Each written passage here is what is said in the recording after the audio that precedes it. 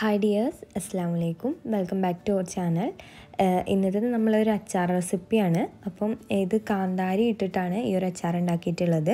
അപ്പം നമുക്കൊന്ന് കണ്ടു നോക്കാം. അപ്പോൾ ഇതിനായിട്ട് ഞാനിവിടെ ഒരു ഒരു കിലോ ചെറുനാരങ്ങ എടുത്തിട്ടുണ്ട്. ഇപ്പോൾ ചെറുനാരങ്ങയൊക്കെ ഇഷ്ടംപോലെ കിട്ടാനുണ്ട്. അപ്പം ഇതൊന്ന് കഴുകിയിട്ട് നമുക്ക് മുറിച്ചെടുക്കണം. ഇപ്പം ഞാൻ കഴുകിയിട്ട് ഈ ഒരു പരുവത്തിലാണ് മുറിച്ചെടുത്തിട്ടുള്ളത്. അത്യാവശ്യം കട്ടിയിൽ തന്നെയാണ് എടുത്തിട്ടുള്ളത്. ഒരു ചെറുനാരങ്ങ നമുക്കൊരു മൂന്ന് നാല് കഷ്ണങ്ങളാക്കാം. ഇനിയിപ്പോൾ ആറെണ്ണാണെങ്കിലും കുഴപ്പമൊന്നുമില്ല. ഇനി ഇതിലേക്ക് നമുക്ക് ചെറുനാരങ്ങ ഒന്ന് ഉപ്പ് പുരട്ടിയിട്ട് വെക്കണം. അപ്പോൾ അതിന് വേണ്ടിയിട്ട് കുറച്ച് ഉപ്പ് ഇതിലേക്ക് ഇട്ട് കൊടുക്കാം. ഉപ്പിന്റെ അളവ് ഞാൻ പറയുന്നില്ല. നമ്മൾ എത്രയാണോ ചെറുനാരങ്ങ എടുക്കുന്നത് അതിലേക്ക് ആവശ്യമായിട്ടുള്ള ഉപ്പ്. ഇനി ഇത് പുരട്ടിയിട്ട് നമുക്ക് ഒരു മണിക്കൂറൊന്ന് വെക്കണം. അപ്പോൾ ഇത് നല്ലോണം കൈകൊണ്ട് ഒന്ന് കുഴച്ചെടുക്കുക.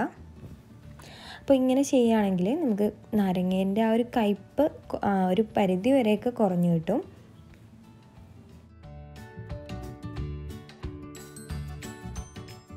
പിന്നെ ഇതിലേക്ക് കാന്താരിയാണ് എടുക്കുന്നത്. കാന്താരി ഇല്ലാത്തവർ പച്ചമുളക് യൂസ് ചെയ്യുക. കാന്താരി ഉള്ളവർ കാന്താരി തന്നെ ഉപയോഗിക്കുക കേട്ടോ. ആ കാന്താരീന്റെ ടേസ്റ്റ് ഒന്ന് വേറെ തന്നെയാണ്. അപ്പം ഞാൻ ഇത്രയും കാന്താരി എടുത്തിട്ടുണ്ട്. അത്യാവശ്യം നല്ല എരിവുള്ളതാണ്. അപ്പോൾ നമ്മളൊരു മിക്സീന്റെ ജാറിലേക്ക് ഈ കാന്താരി ഇട്ട് കൊടുക്കുകയാണ്. കാന്താരി ഒരുപാട് അരച്ചെടുക്കരുത്. ജസ്റ്റ് ഒന്ന് അതൊന്ന് ചതച്ച് കിട്ടിയാൽ മാത്രം മതി. ഈ ഒരു പരുവത്തിൽ ചതക്കി എടുക്കുക എടുത്താൽ മതി കേട്ടോ. അപ്പോഴാണ് ആ ഒരു ഇടയ്ക്ക് ഇതൊന്ന് കടിക്കാനായിട്ട് കിട്ടുള്ളൂ ഇനി ഇതിലേക്ക് നമുക്ക് ആദ്യം തന്നെ മസാല റെഡിയാക്കണം. അപ്പം ഇതിലേക്ക് ഞാനൊരു മൂന്ന് സ്പൂണ് കടുക് ഇട്ട് കൊടുക്കുന്നുണ്ട്. ഈ കടുക് ഇട്ട് കൊടുക്കുന്നതും നമ്മൾ എത്രയാണോ എടുത്തിട്ടുള്ളത് നാരങ്ങ അതിലേക്ക് ആവശ്യമായിട്ടുള്ള മസാല നമ്മൾ ഉണ്ടാക്കി കൊടുക്കണം. അപ്പം ഞാൻ ഒരു കിലോ എടുത്തതുകൊണ്ട് ഒരു മൂന്ന് സ്പൂണ് കടുകും അതേ അളവിൽ തന്നെ നമ്മൾ ഉലുവ കൊടുക്കുന്നുണ്ട്. ഇതിനി നന്നായിട്ടൊന്ന് പൊട്ടിച്ചെടുക്കണം.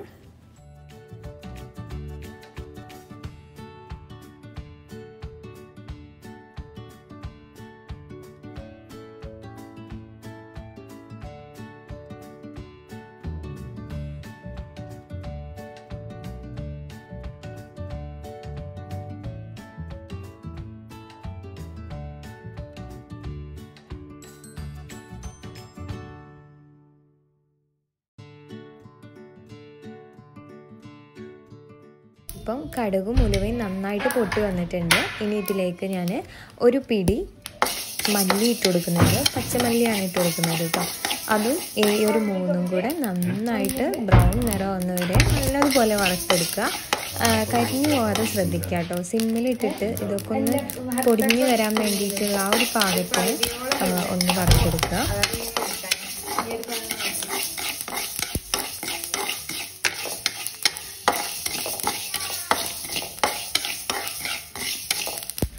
ഇതൊന്ന് വറുത്ത് കഴിഞ്ഞാൽ നമ്മൾ മിക്സീന്റെ ജാറിലിട്ടിട്ട് നന്നായിട്ടൊന്ന് പൊടിച്ചെടുക്കുക.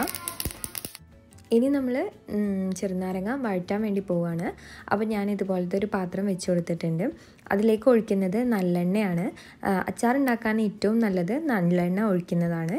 അപ്പം നല്ലെണ്ണ കുറച്ച് ഒഴിച്ചു കൊടുത്തിട്ടുണ്ട്. ഇതിലേക്ക് നമ്മൾ അച്ചാറിലേക്ക് ആവശ്യമായിട്ടുള്ള കടുക് ഇട്ട് കൊടുക്കുക. ഞാനിപ്പോൾ ഒരു സ്പൂണ് കടുകാണ് ഇട്ട് കൊടുക്കുന്നത്. കടുകൊന്ന് പൊട്ടി വന്നിട്ടുണ്ട്. ഇനി ഇഞ്ചിയും വെളുത്തുള്ളിയും ചേർത്ത് കൊടുക്കുക.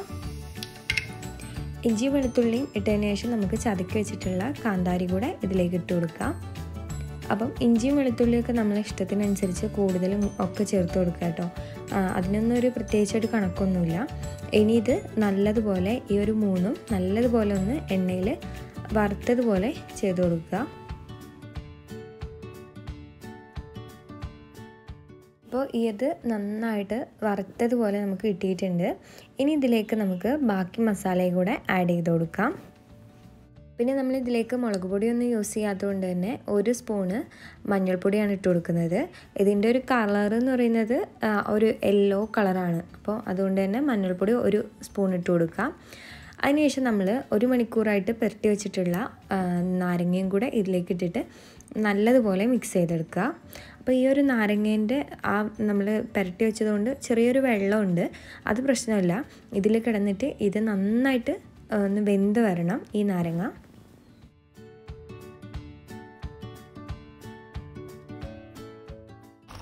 ഈ ഒരു നാരങ്ങ ഏകദേശം ഒന്ന് വഴന്നു വരുമ്പം നമ്മൾ പൊടിച്ച് വെച്ചിട്ടുള്ള മസാലയും കൂടെ ഇതിലേക്ക് ചേർത്ത് കൊടുക്കുക. എന്നിട്ട് വീണ്ടും ഇതുപോലെ തന്നെ വേവിച്ചെടുക്കുക. അപ്പോഴാണ് ആ ഒരു മസാല ഇതിന്റെ ഉള്ളിലേക്കൊക്കെ ഒന്ന് പിടിച്ച് കിട്ടുള്ളൂ അപ്പോൾ നമ്മൾ മുഴുവൻ പൊടിച്ചത് ഇതിലേക്ക് ചേർത്തിട്ടുണ്ട്. ഇനി നല്ലതുപോലെ മിക്സ് ചെയ്ത് കൊടുക്കുക.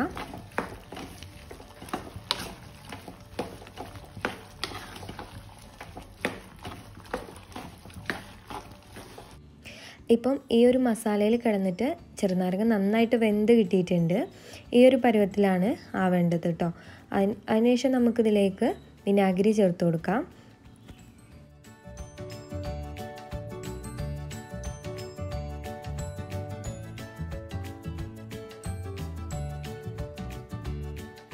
വിനാഗിരി ചേർത്ത് കഴിഞ്ഞിട്ട് നമ്മൾ അടുപ്പത്ത് വെച്ച് ഒരുപാട് തീ കൊടുക്കരുത്.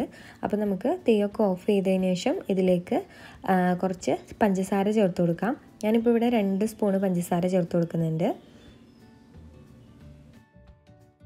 നമ്മൾ നാരങ്ങാച്ചാർ റെഡി ആയിട്ടുണ്ട്. എല്ലാവരും ഒന്ന് ട്രൈ ചെയ്ത് നോക്കുക കേട്ടോ നമ്മൾ സാധാരണ നാരങ്ങാച്ചാറിന് ഒരു വേറൊരു ടേസ്റ്റ് തന്നെയാണ് ഇതിന്. അപ്പം എല്ലാവരും ചെയ്ത് നോക്കുക.